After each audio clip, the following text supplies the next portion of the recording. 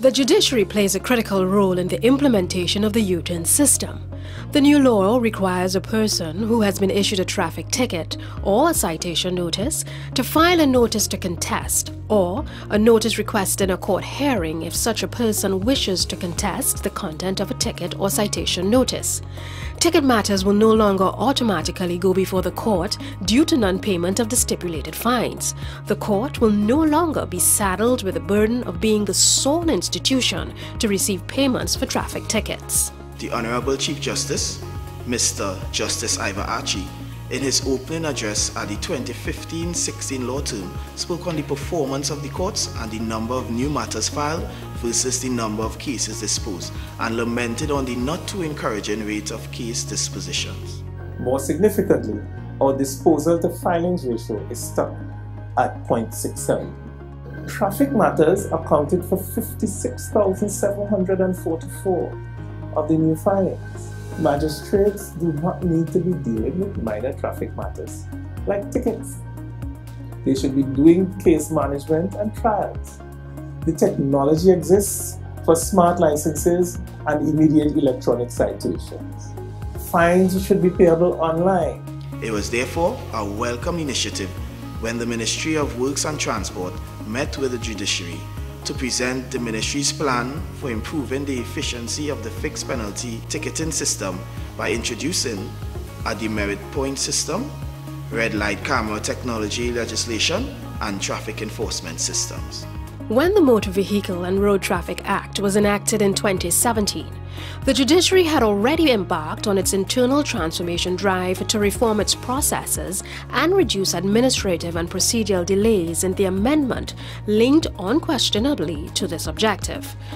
Currently under the law, when a law enforcement officer issues a fixed penalty traffic ticket, the defendant must go to the courthouse in the district where the offense occurred to pay the fine.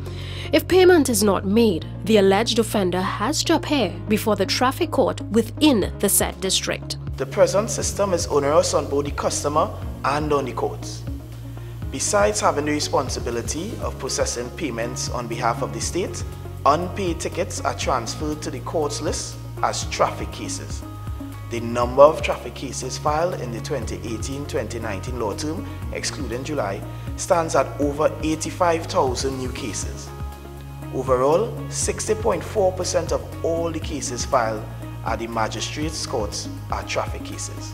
Court lists are saturated with traffic matters, which contribute to the backlog.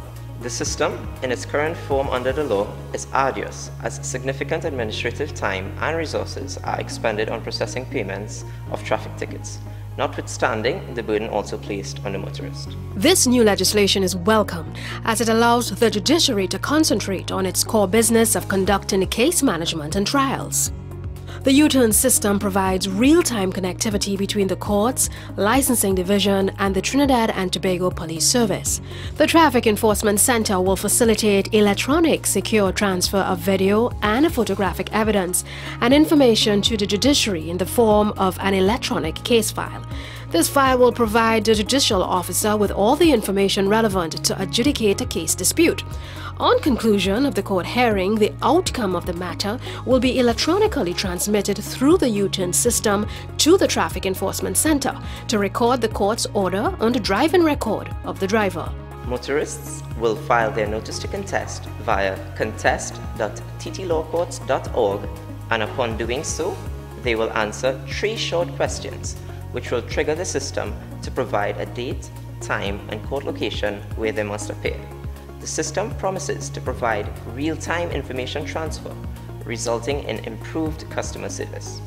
It will ease the administrative burdens currently on the courts and allow district court judges to focus on their core function of case management and trials.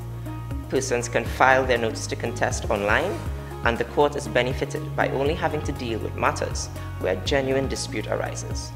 Evidence and all supporting documents are transmitted through a secured link between and among the respective agencies. The U-turn system will assist the administration of justice in Trinidad and Tobago by significantly reducing the backlog of cases and the time it takes to determine disputes. Citizens now stand to benefit from improved customer service and faster delivery of justice.